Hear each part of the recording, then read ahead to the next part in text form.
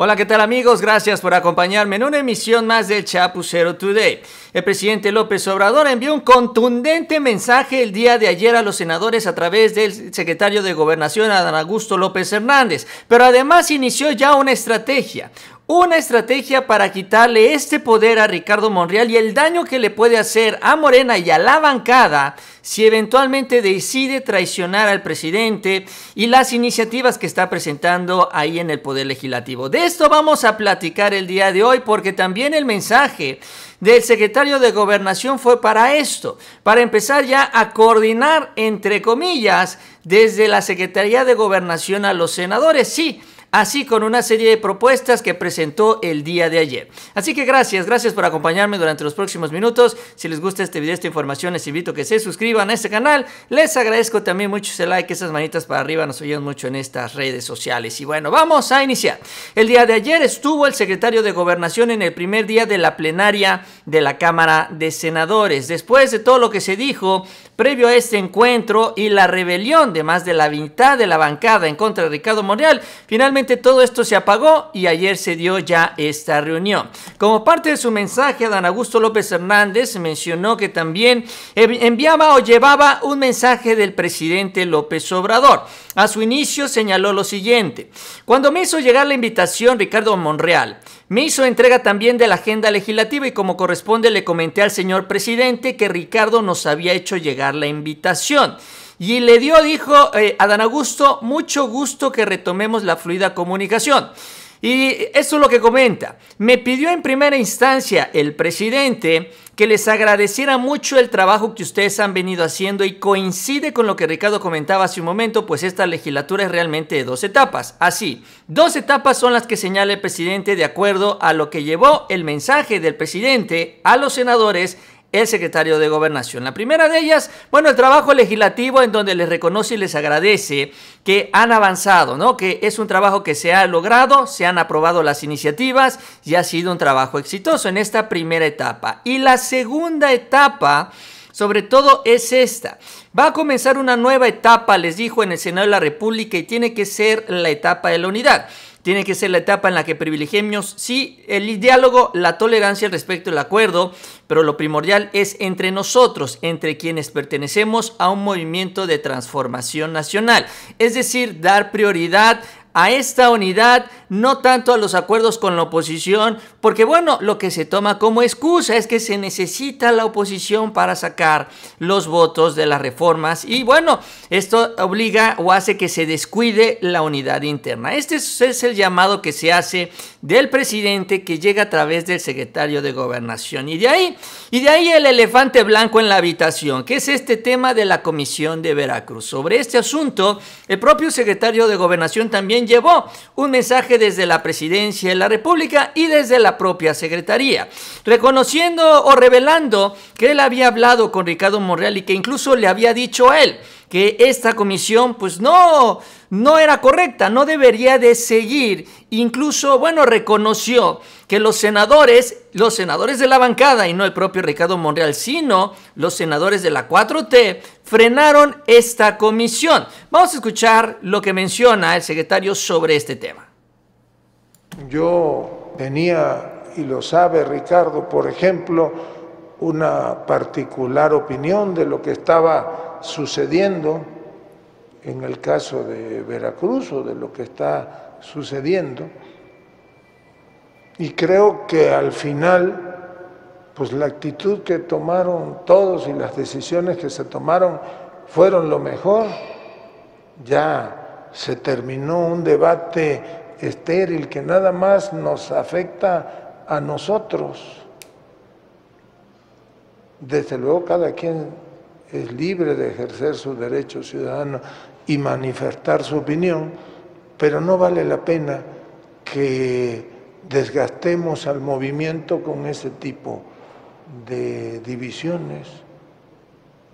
Este es el tiempo de la unidad y felicito que se haya tomado la decisión de que esa comisión, que era a lo mejor más eh, beneficiaba más a los intereses de la oposición, a los intereses políticos que a los intereses políticos de este grupo parlamentario. Propiciaba una división ahí al interior del movimiento. Imagínense, y se los digo con todo respeto, pues nosotros mismos estábamos abriendo el debate sobre si convenía o no desaparecer los poderes en un Estado que gobierna alguien emanado de este movimiento. Qué bueno que se reflexionó, qué bueno que se le da la vuelta a la página. Pues así de contundente también sobre esta comisión de Veracruz, la opinión que llega desde la Secretaría de Gobernación, que es la opinión también del gobierno federal y la opinión del representante político del presidente Obrador. Una discusión estéril que solo iba a ayudar a la oposición porque habla de las diferencias o deja ver las diferencias que hay en el interior de la 4T. Aunque más que diferencias, estamos hablando de un grupo que es el encabezado por Ricardo Morrial que se enfrentó también a buena parte del movimiento porque el único que impulsaba esta comisión de Veracruz era el propio Ricardo Monreal, que incluso el día de ayer y también para defenderse ante estos señalamientos reconoció que todo esto fue iniciativa de él y de nadie más, no fue de la oposición, fue Ricardo Monreal el que dijo, señores, vamos a crear una comisión para pues eh, investigar al gobernador de Veracruz y adelantó y respondió, porque bueno, se ve que no le gustó a Monreal lo que dijo el secretario de gobernación, que él va a continuar en esta lucha, en la lucha por los derechos de la gente en contra de Huitlagua García. Vamos a escuchar. Eh, de manera personal, eh, decidí que yo lo planteé en la Junta de Conexión Política, que eh, pudiera concluir sus trabajos la comisión, que extinguiéramos la comisión que se había integrado por mi propuesta, debo de decirlo con toda entereza, yo la propuse, para eh, las violaciones, abuso de autoridad en el estado de Veracruz. Tenemos un compañero nuestro detenido injustamente. Y le comenté también al secretario, se los tengo que decir a ustedes lo que les comenté en el chat. De manera personal, de manera personal, sin involucrar al grupo, yo voy a continuar luchando personalmente luchando por la libertad, no solo de José Manuel del Río, sino de mucha gente que por ultrajes a la autoridad y otros delitos están detenidos injustamente en Veracruz y en otros estados del país. Entonces Ricardo Monreal reafirma esta línea de choque que entra en contra de lo que luego él cataloga como la nomenclatura, que es básicamente pues, la estructura política que controla ahorita la cuarta transformación, que obviamente, hablamos, está encabezada por el presidente Obrador. Y esto, esto se convierte en un problema en la operación política porque mal que bien, aunque sean uno, dos, tres, cuatro, realmente no sabemos cuántos senadores se mantengan 100% reales a Ricardo Monreal. Ahorita estamos en la antesala de la aprobación de la reforma eléctrica del presidente López Obrador, entre otras más. Y sobre todo que en el Senado de la República no se puede dar el lujo morena de perder senadores. Y bueno, algunos de ellos, incluso hay que decirlo, son los senadores que aspiraban a gubernaturas, que perdieron el proceso interno y que incluso algunos de ellos ya tenían un pie fuera de Morena, solo que como no les dieron la candidatura de la oposición, se quedaron en el partido. O sea, sí, sí los hay, ahí están metidos y están esperando un llamado nada más de Ricardo Monreal para irse a la oposición. Esa es la parte que se está cuidando. Entonces inicia la operación política para desactivar esta fuerza de Ricardo Monreal. ¿Y cómo? Teniendo un contacto directo justamente con los senadores. Y ese es el otro llamado que hizo el secretario de Gobernación el día de ayer. Porque además de hablar de esto de la unidad, en la unidad se pidió para seguir impulsando la cuarta transformación, para incluir a los senadores en la estrategia política desde la presidencia de la República, invitándolos incluso a las giras que ya anunció el presidente Obrador se van a hacer en el marco de esta reforma eléctrica. Nada más y nada menos. Y no solo eso, sino también abriendo ya las puertas para una comunicación directa entre los senadores de la bancada con la Secretaría de Gobernación. Y ojo, no necesariamente a través del coordinador parlamentario, que es Ricardo Monreal, sino también incluso les dijo, señores, pues entre otras cosas, ¿por qué no instalamos mesas de trabajo donde todos ustedes participen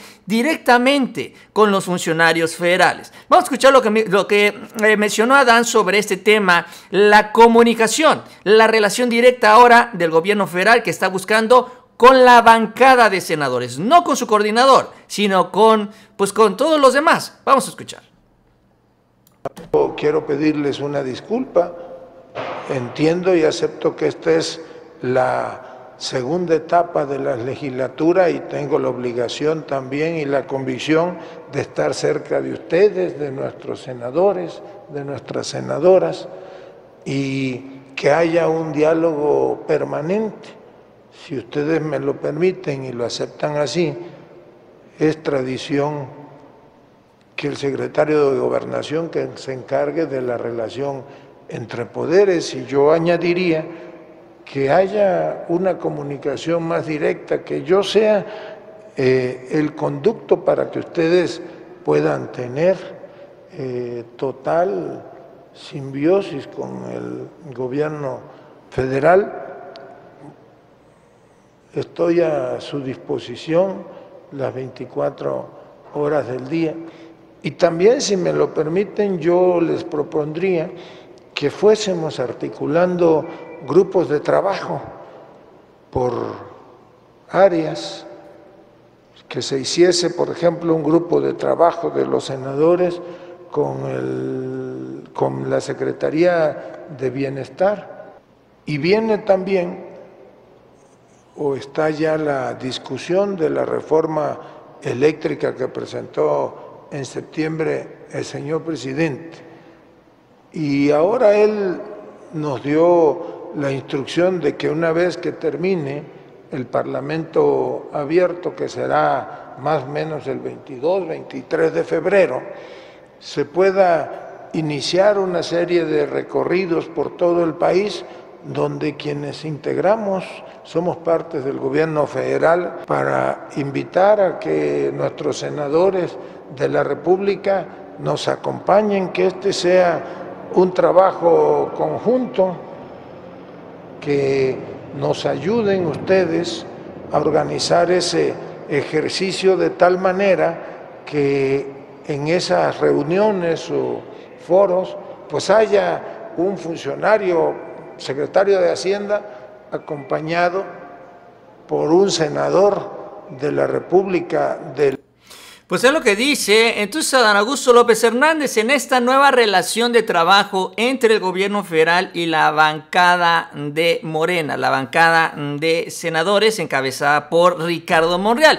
Pero para que nos quede claro también esta estrategia, incluso como parte de su mensaje, el propio secretario de Adán Augusto cuestionó de manera eh, directa o indirecta eh, la manera en la que se ha comportado la estrategia incluso de acuerdos políticos de Ricardo Monreal con la oposición y habló sobre un tema como es este, esta situación de la revocación de mandato. Acuérdense ustedes que se hizo una negociación para sacar adelante esta pregunta de la revocación de mandato en donde Ricardo Monreal dijo, no, es que no va a salir esta pregunta, vamos a negociar con la oposición para poder obtener los votos y que no se Sobre este tema, Dan Augusto señor que, por ejemplo, como anécdota dice, hay que tener cuidado con los acuerdos con los opositores porque aparentemente los podemos construir, pero ellos terminan no cumpliendo los acuerdos. Y ponía, dijo, por ejemplo, la revocación de mandato. Una madrugada, señala él, cuando se iba a votar, Ricardo me llamó y me dice, oye, pues está muy difícil que transite la pregunta sí, pero hay una posibilidad que se modifique y que entonces pueda transitar. Yo le decía a Ricardo, pues si tenemos la mayoría, ya somete la votación. Eso fue lo que le dijo a Dan Augusto, pues si ya, ya la podemos sacar, adelante, vamos a sacarla, ¿qué te pones a negociar con la oposición? Ricardo Monreal le dijo, no, mira, la podríamos sacar así, pero si revisamos el contenido de la pregunta, podemos construir un acuerdo político. Si esto se da, pues pasaría porque se le dé vuelta a la página y ya no haya una judicialización. Ese es el acuerdo que supuestamente habría alcanzado Ricardo Monreal con la oposición y por eso les dio chance a la oposición de que ellos cambiaran la pregunta para que finalmente pudieran votar, se decidieran a votar a favor, aunque no se necesitaba, porque con la mayoría de Morena era suficiente. Y lo que reclama lo que señala más bien a Dan Augusto y lo que le recuerda y les advierte a los senadores es que a pesar del compromiso, entre comillas, de la oposición de no judicializar este proceso, tras este acuerdo político, lo que hizo la oposición fue justamente judicializar este proceso. O sea, que no respetan los acuerdos. Y la advertencia es, bueno, sí hay que acordar con la oposición, pero no, ahora sí que no hay que acordar de más. Cuando se tenga la votación, adelante y esto se tiene con la unidad de la bancada. Por eso es que también se refrenda este llamado a la unidad para que con esta fuerza y esta fortaleza se usen los votos que les dimos los mexicanos para ganarle a la oposición y avanzar hasta donde se pueda avanzar con esa mayoría. Y si es necesario, pues negociar con ellos, pues se negociará, pero no más allá de lo que se necesita. Y esta manera también de cuestionar la estrategia de Ricardo Monreal, pues obviamente deja mal parado al coordinador frente al resto de los senadores. Es decir, que lo que se está buscando es un cambio de aires y no se puede ahorita, y entiendo yo el análisis, remover a Monreal por el riesgo de perder varios votos, no sabemos cuántos, seguramente en la SEGO lo tienen más claro, se perderían porque se irían a la oposición. Y ahorita que se necesitan votos, aunque sean votos disfrazados de traidores, finalmente se va a buscar mantenerlos ahí en la bancada para que apoyen las iniciativas del presidente Obrador. Pero así de contundente el mensaje, así la estrategia también del presidente en este escenario que bueno, pues ya se empezó a trabajar por el secretario el día de ayer y es donde Ricardo Morreal, pues sí, queda mal parado y queda exhibido como lo que finalmente es y además también como lo ven muchos seguidores del presidente y de la cuarta transformación. Bien amigos, yo con eso termino, les agradezco que me hayan acompañado en esta emisión, si les gustó el video, la información, les invito a que se suscriban a este canal, les agradezco también mucho ese like, esas manitas para arriba, nos ayudan mucho en estas redes sociales y les invito a que sigan pendientes de los próximos videos. Que tengan una excelente tarde y nos vemos más adelante con mucha más información.